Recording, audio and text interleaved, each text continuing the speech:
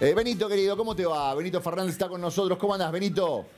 Hola, Horacio, ¿cómo andas? ¿Cómo Bien, me imagino que vos choqueadísimo, ¿no? Pues estuviste charlando con ella durante la tarde.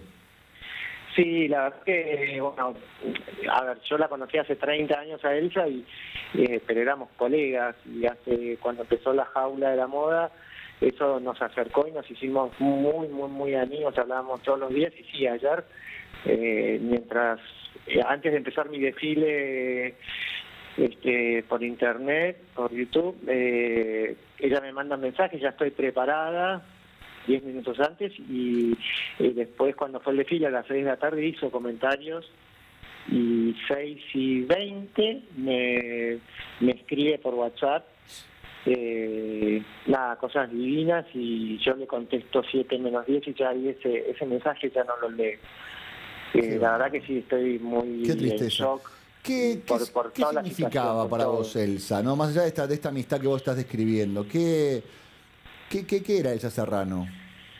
Mira, Elsa Serrano, bueno, hay dos Elsa Serrano. La que yo conocía como diseñadora, fue una, la diseñadora icónica de la Argentina, Sí. que, que yo lo que decía era, más allá de los vestidos de fiesta, ella hacía glamoroso y hacía así como, como, como un pantalón, una camisa, ella te la hacía estelar, era como que todos hacemos pantalones, todos hacemos camisas, pero ella la transformaba o por la manga, o por la obrera, o por el color, Sí. la, la, la transformaba en piezas únicas, eso era raro, porque un vestido de fiesta, los vestidos de novia icónicos de ella, Claro. eh, que atraviesan todas las décadas, eso es un poquito más entendible, pero cómo hacer icónico un pantalón, ese pantalón ancho, esas polleras con esos vuelos, cosas que hacemos todos los diseñadores, y que ella las transformaba en algo, eh, la verdad que de una suntuosidad, eh, de, no, para mí es... eh, y lo que yo digo, por ejemplo, ahora en, en, en los locales vintage donde encontrás ropa de ella, es como la pieza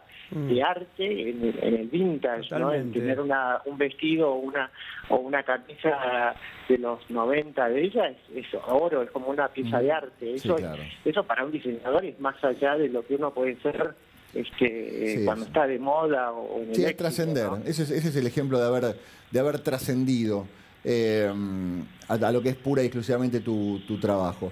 Benito, gracias por este charlar un ratito con nosotros. Te- vos sabés que te queremos mucho y te mandamos un abrazo muy, pero muy grande. Y, y fuera de lo que, lo que está pasando, nos alegramos mucho de lo que, de lo que te pasó ayer con tu, con tu desfile.